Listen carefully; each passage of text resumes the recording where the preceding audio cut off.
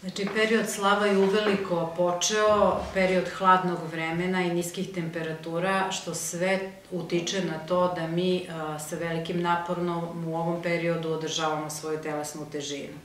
U zimskom periodu, kad su temperature niske, izbegavamo da izlazimo napolje, manje se šetamo, manje smo fizički aktivni, a suprotno tome dolazi period proslava, slava,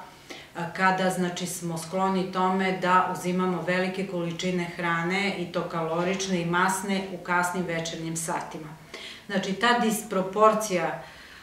između uzimanja praktično velike količine hrane i smanjene fizičke aktivnosti u stvari i dovodi do toga da nam u ovom zimskom periodu raste telesna težina. Takođe zimski period sa niskim dnevnim temperaturama period koji naš organizam navodi da lučimo veliku količinu znači hormona gladi, jer se organizam priprema za hladnoću i potrebna mu je malo veća količina masnih naslaga. Tako da svako od nas primećuje da u zimskom periodu imamo veći apetit i da se češće znači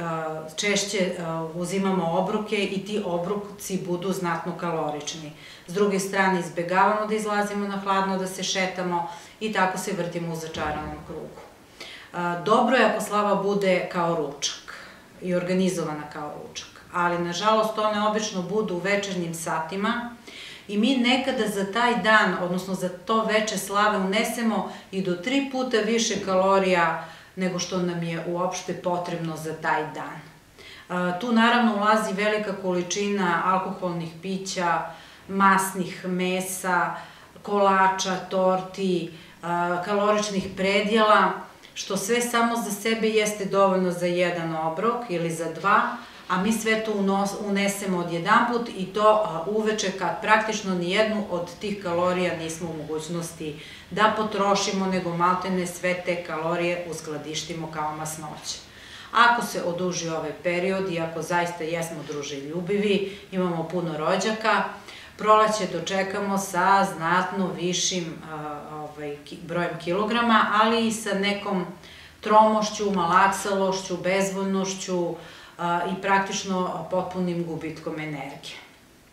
Ono što treba da uradimo jeste da u svakom slučaju zaista vodimo računa da se potpuno ne prepustimo svim onim džakonijama koje nas čekaju na stolu, nego da probrano uzimamo po neke od tih namirnica i da naravno nakon slave taj dan iskoristimo za čišćenje organizma, da pijemo prirodne voćne sokove koje ćemo da cedimo kod kuće bez šećera, veliku količinu vode, biljnih čajeva, a da unos hrane svedemo na minimum i naravno da ne ostajemo kod kuće, nego da se dobro obučemo i da ovaj, praktično šetamo onoliko koliko nam hladnoća to dozvoljava.